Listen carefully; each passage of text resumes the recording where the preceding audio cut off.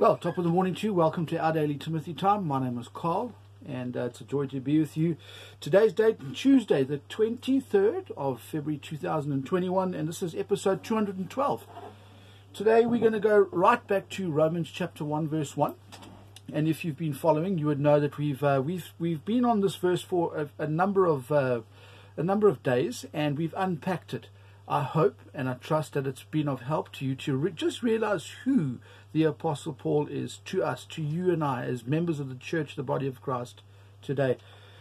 In this verse, uh, Romans 1, verse 1, Paul, a servant of Jesus Christ, called to be an apostle, separated unto the gospel of God.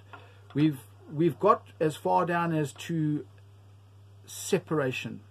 Paul was separated unto the gospel of God. And I just want to spend a few moments just looking at the at Paul's separation. Um, you know, if if we want to know about Paul's separation, you know, uh, let's let Paul tell us a little bit about it. And I'm going to take you over to Galatians chapter 1 and uh, verse 15, 16. Paul writes here, But when it pleased God, who separated me from my mother's womb and called me by his grace to reveal his son in me that I might preach among the heathen, immediately I conferred not with flesh and blood. You see where it says there, who separated me from my mother's womb. Okay, now the obvious, Paul was born, that's the obvious. But uh, when he when it says there from his mother's womb, that means was separated from from the nation Israel. Okay, another verse you can go to to uh, compare verse with verse. If you went to Ch- Galatians four twenty six, you can see the connection, and um, and it's it's quite obvious.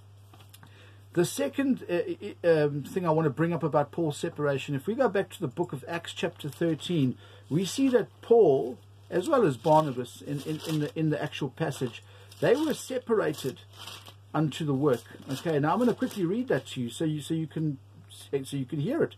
It's uh, uh, thir- Acts 13 verse 2. Paul uh, or Luke, right? Doctor Luke writes this. He says, "As they ministered to the Lord and fasted, the Holy Ghost said."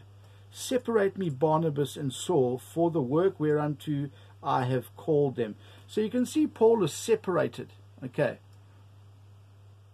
That's quite important to see.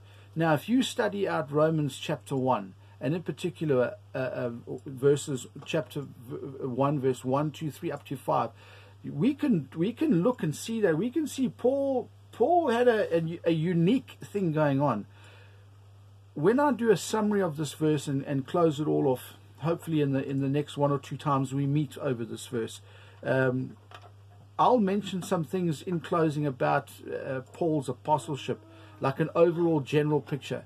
But uh, that's not my purpose and intent for today. What I want you to see today is Paul is separated.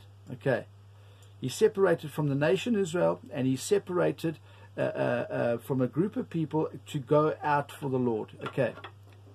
That's very, very important for us to pick up. And it also says in that verse Paul, a servant of Jesus Christ, called to be an apostle, separated unto the gospel of God. Now, the next time we meet, we're going to have a look at the gospel of God.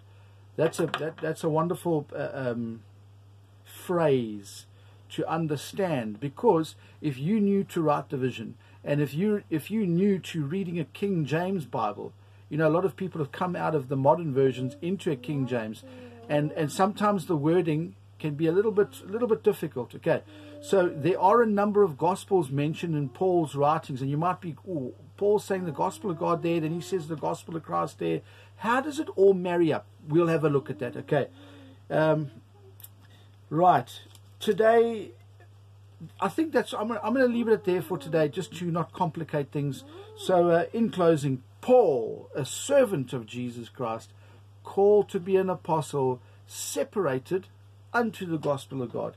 This is a beautiful book we, we're dealing with. Romans. This is the basic foundational book for any of us believers today.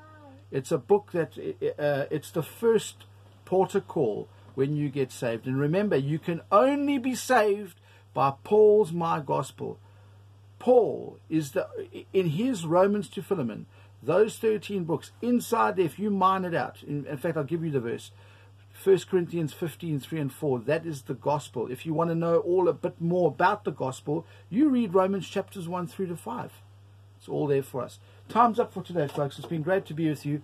Tomorrow we'll catch up with our our, um, our read Daniel, and uh, I trust you're enjoying that too. and lastly, if um, there's a in in the in the description below, there's there's a PayPal link. If you've been tracking with this ministry and you've and you've and you've um, you've you've wanted to to um, if I can use the word sow into this ministry, now you have an option. Isn't that fantastic? So it's, it's in the link down below.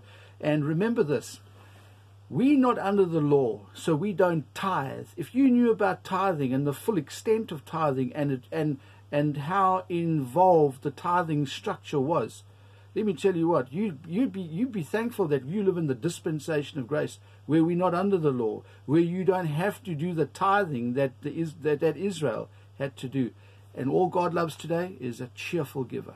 Anyway, you have a fantastic day, and we'll catch up again tomorrow. Till then, take care and. Maranatha.